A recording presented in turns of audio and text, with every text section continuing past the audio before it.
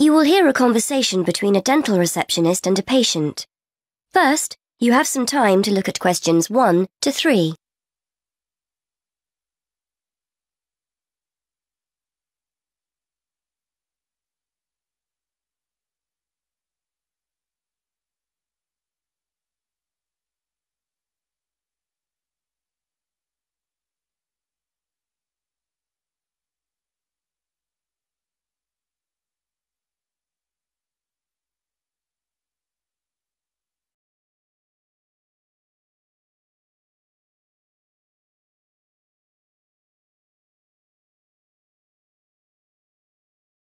Now we shall begin. You should answer the questions as you listen, because you will not hear the recording a second time. Listen carefully and answer questions 1 to 3. Hello, Mr. Budley. Is that your treatment finished for today? Yes, I've just had the x-ray for now. The dentist asked me to make another appointment to have one out, and then to get my teeth cleaned. OK, let's have a look at what's available. I've got a couple of free slots next week on the 16th. That's the Wednesday. Monday and Tuesday are completely full, I'm afraid. Isn't there anything sooner than that? I'm in a lot of pain. Nothing this week? I'm afraid not. We're very busy this week. One of the dentists is away on holiday, so we're a little short-staffed. If someone cancels, I'll give you a call. But for the time being, shall I book you in for the 16th? We have a free slot at 1.30 and another one at 3.30. OK. Can you book me in at 3.30? Let me uh, make a note of that. Um, oh, hang on. I can't make 3.30. I've got a meeting at 4 and I'll never get back in time. It'll have to be 1.30. Before you hear more of the conversation, you have some time to look at questions 4 to 10.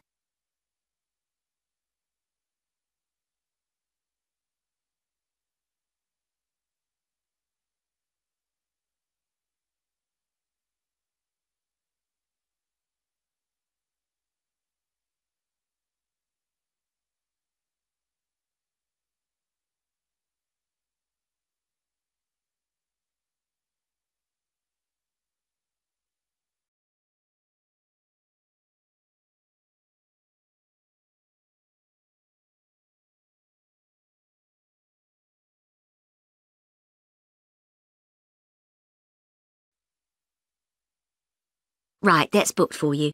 Now, the extraction will be £90 and the x-ray is £20, so that's £110 altogether. How would you like to pay? Cash or cheque? I'm afraid we don't take cards. I'll pay by cheque, thanks.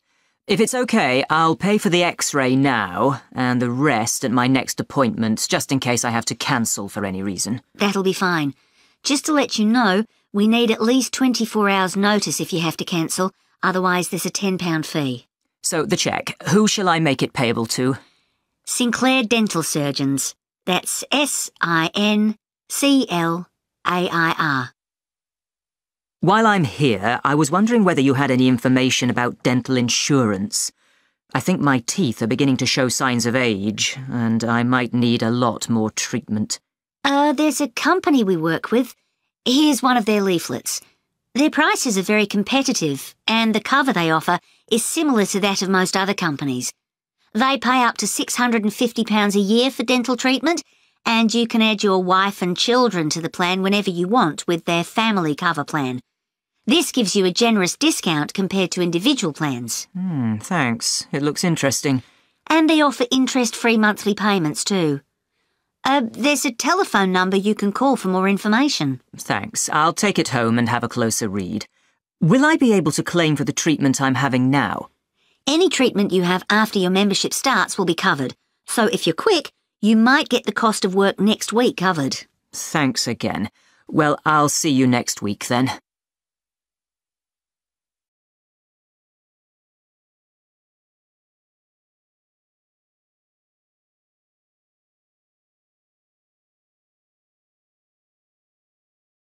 That is the end of part 1.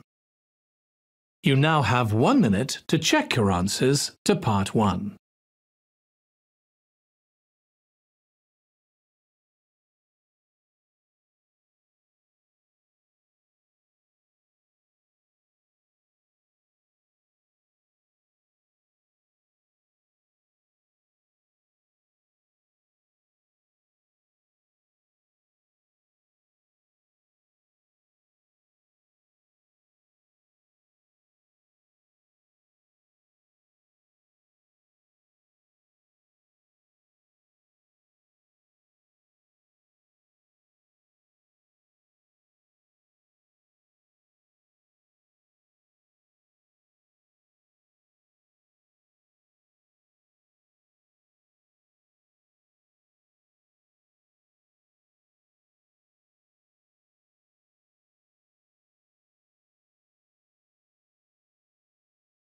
Part 2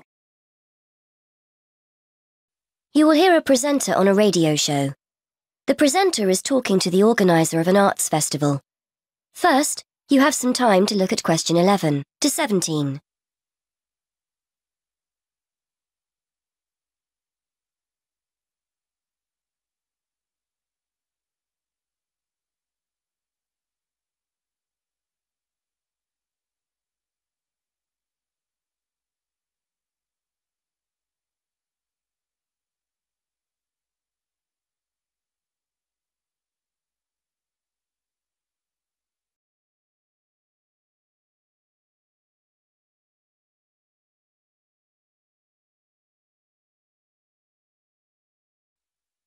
Hi again. I'm joined today by Ben Knightley from the Media and Arts Centre. He's here to tell us about the launch of the city's Arts Festival. Hi, Ben. This year has a particular focus, doesn't it? It does, yes.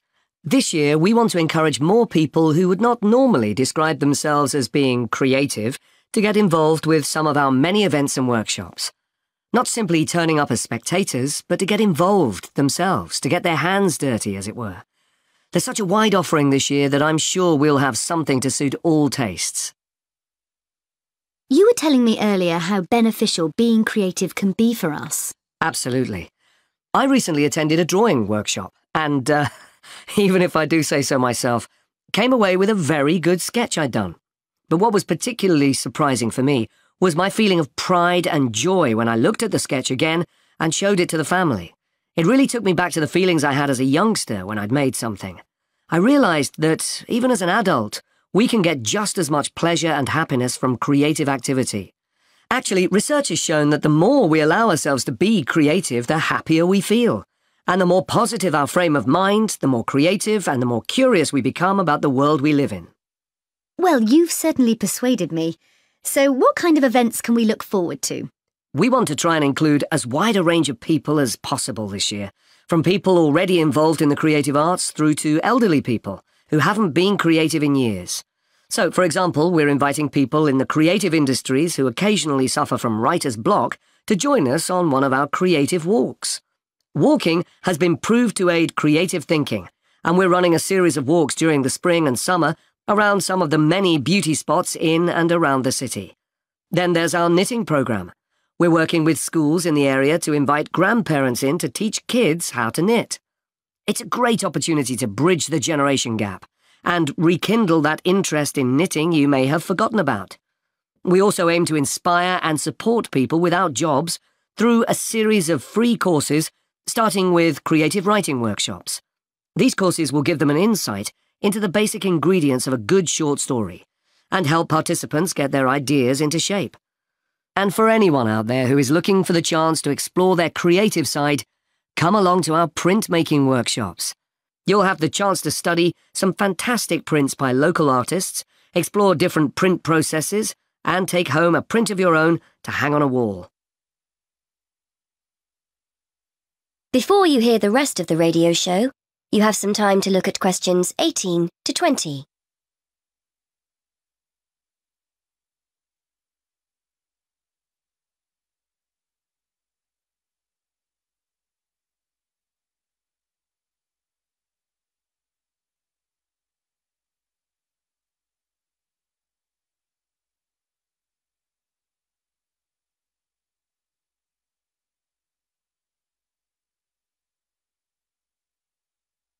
Now listen and answer questions 18 to 20. Excellent. So, how do we go about getting involved? If anyone is interested in joining one of these sessions, it's important that you contact us first, as places need to be booked beforehand. We ran similar sessions last year and demand was high. As I said previously, there's no charge for any of the workshops, and materials, where appropriate, will be provided on the day. You can get further information on our website, and if you don't have access to the internet, call us on 514 2261. The booking office is open Monday to Friday from 9 to 5, but closes early on a Saturday at 12:30. Many thanks, Ben.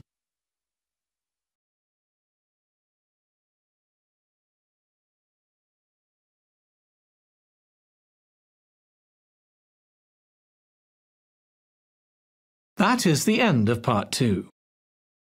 You now have 30 seconds to check your answers to part two.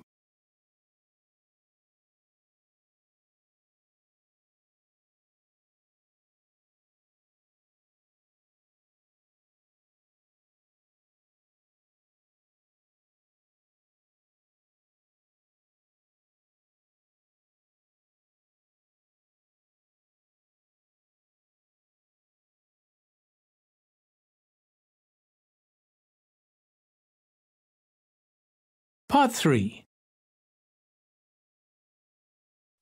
You will hear a conversation between two university students about transferring to a different course. First, you have some time to look at questions 21 to 26.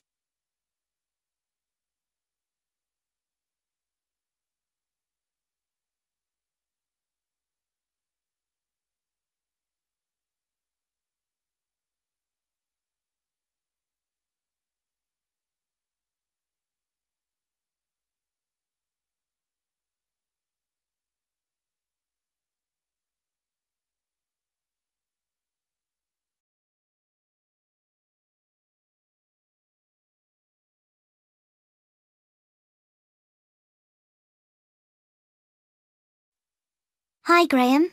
How you doing? Hi, Judy. I'm fine, thanks. And thanks for popping round. I was hoping I could pick your brains about transferring to another course. Yes, I remember you saying you wanted to do something else. Are you planning on staying here, or are you looking to go to a different university? No, I'm happy to stay here. I just feel I need to do something else. How did you go about your transfer? You did History of Art originally, didn't you? That was the course I initially wanted to transfer to. I'd studied art at college and wanted to continue, but my parents persuaded me that English would be more useful, so I took their advice. But I really didn't enjoy it and tried to transfer to History of Art, but the course was full. Anyway, I spoke with the course tutors and they told me about the fine art programme. They thought I had the talent to do it, so that was that. I see. How did your parents take the news? They were okay about it, really. They just want me to do what I enjoy, so everything's fine there. So you're hoping to transfer as well, then? Yes, I think I've given the German course a good try, but I'm not really happy. Most of the other students on the course seem to have at least one German parent, or they've spent a great deal of time in Germany, so their German is much better than mine. We get huge novels to read, and I'm still struggling with the first chapter while they're already finished and writing their assignments. I thought about doing a combined degree, German with another course, as the workload would be less, but in the end, I feel a complete change would be best. One of my other subjects at school was history, and I realise now I'm actually more interested in that. One of my housemates is doing history, and it sounds like a great degree, so I've decided to focus on that. Well, people do transfer, so it's not out of the ordinary. But won't you miss the opportunity to study abroad for a year? You spend year three in Germany, don't you? I know. Not only Germany, actually. You have a choice of Germany, Switzerland, or Austria. That would be exciting, I know, but that's really the only thing I like about the course. And I can always do some travelling after I've finished my studies. I still don't know what I want to do as far as a career is concerned, so I think it's best I study something I enjoy first and foremost. Anyway, I thought I'd ask you about how you went about your transfer before taking it any further. Before you hear the rest of the conversation, you have some time to look at questions 27 to 30.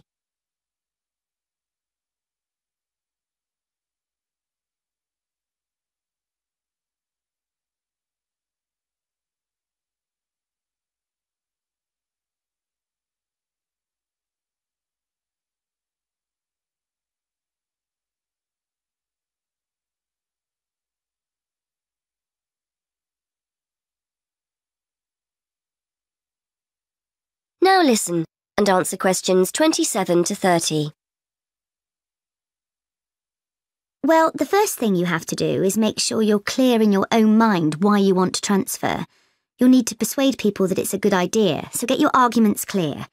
Then, I'm sure you've already done this, but check what the entry requirements are for history and whether you've got the necessary qualifications. They might be more flexible now you're actually here, but you need to show them you'd be able to keep up with your studies. Well, I've got history qualifications, so I'm hoping that won't be a problem. Who do I have to speak to? Well, they always tell you to speak with your course tutor first, in case there's a way of making the course you're on more appealing to you. But it sounds like you've definitely decided to get out, so I'd go to the careers service next, just to make sure there aren't any restrictions on transferring. It shouldn't be a problem, but it's best to check first. And then there's your funding. I'm no expert, but I would imagine this won't be a problem. German's a four year course and history is three, so you could just start from year one next September. If the career service think it's okay and there are no funding problems, go and speak to the admissions tutor in the history department, just to see if they're happy with your qualifications and if there are places. OK. Well, I'm hoping it'll be OK.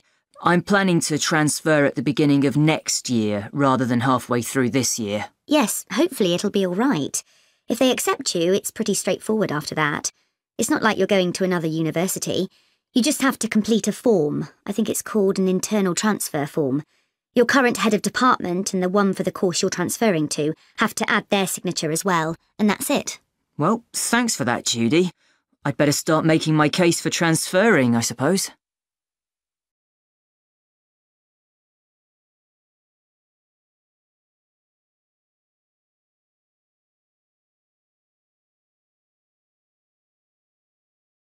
That is the end of part 3.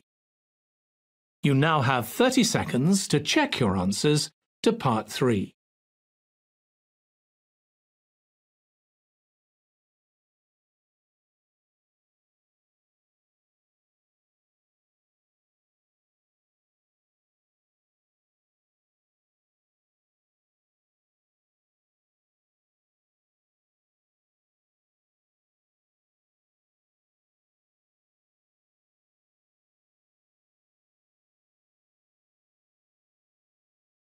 Part 4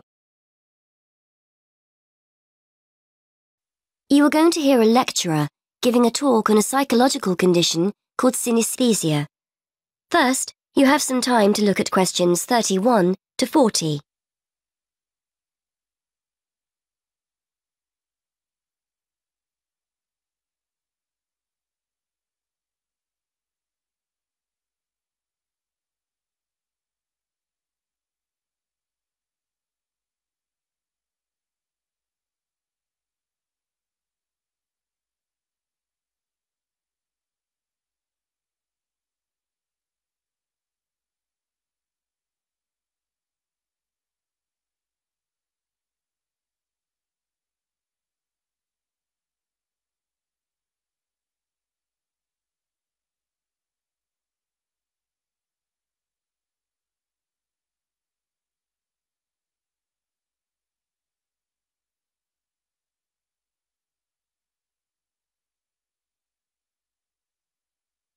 Now listen and answer questions 31 to 40.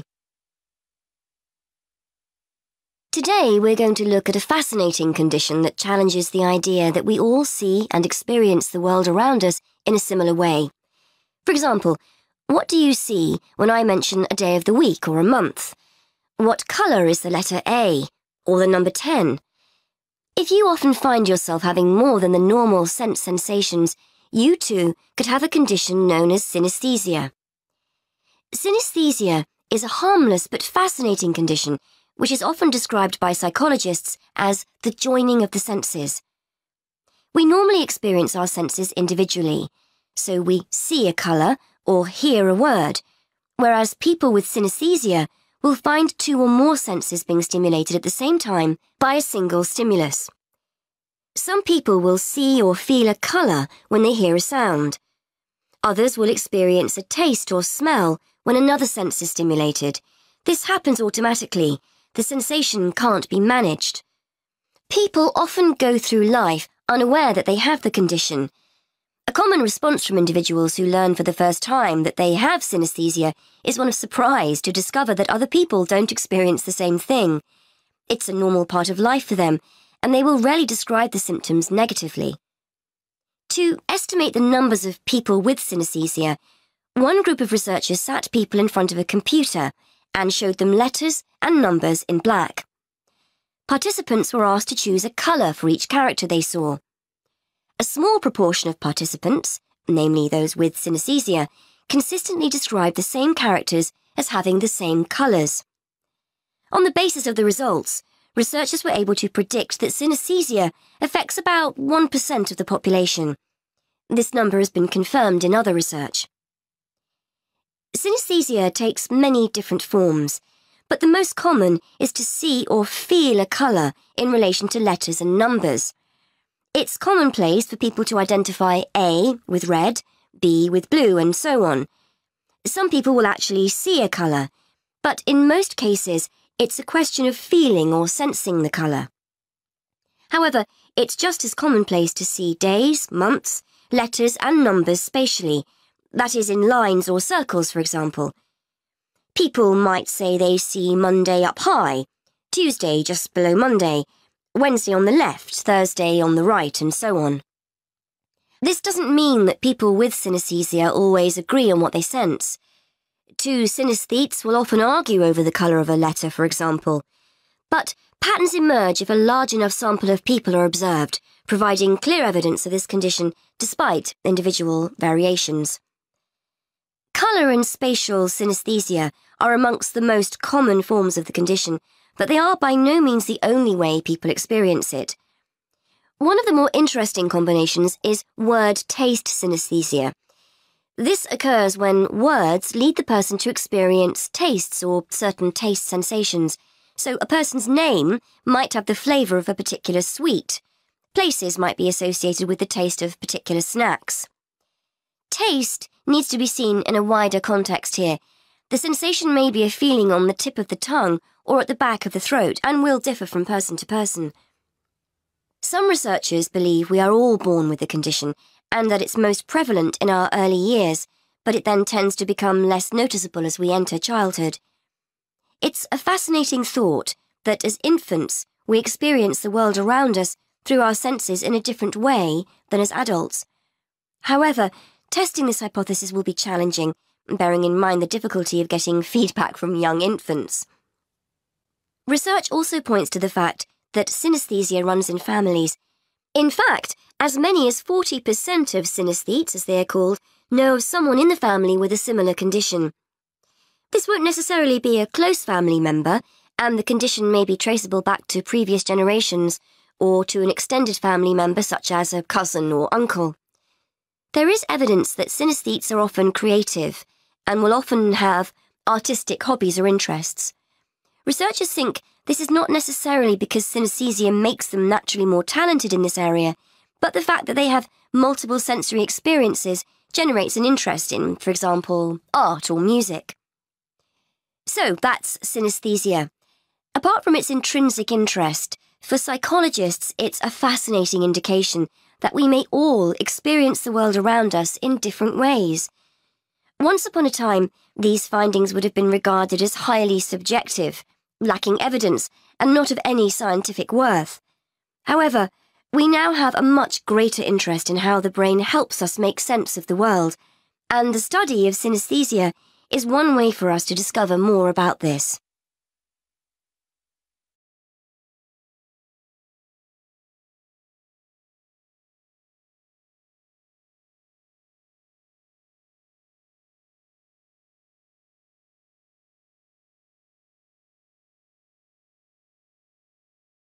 That is the end of part four.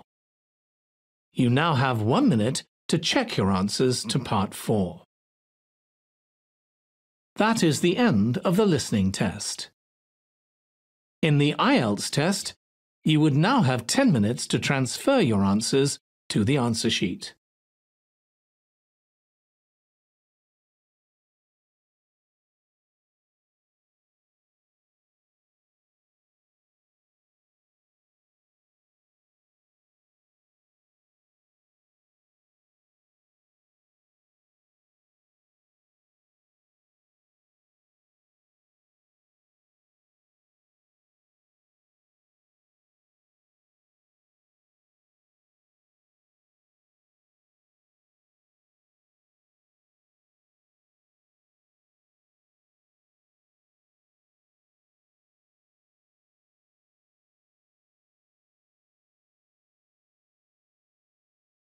Hey there, future IELTS master.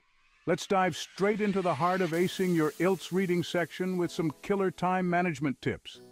I know the clock ticking down can really crank up the pressure, but with these strategies, you'll be breezing through those paragraphs like a pro.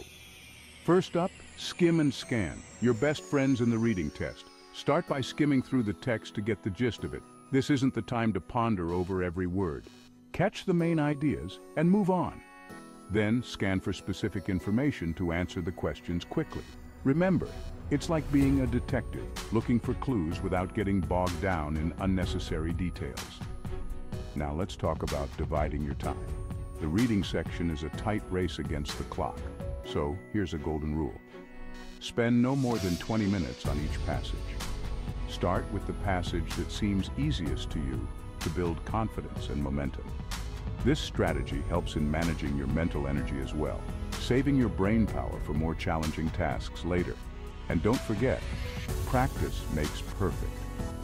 Regularly timing yourself while practicing can drastically improve your test day performance. Try simulating exam conditions at home. It's like a rehearsal for the main event. The more you practice, the better you get at gauging how much time to spend on different types of questions. Lastly, if you're stuck on a question, don't let it steal your time. Mark it, move on, and come back to it if time allows. It's crucial not to get trapped by tricky questions that could eat up your valuable minutes. So there you have it. Skim and scan, wisely divide your time, practice under timed conditions, and don't get bogged down. Implement these tips and watch your IELTS reading score soar. Good luck, and remember, you've got this.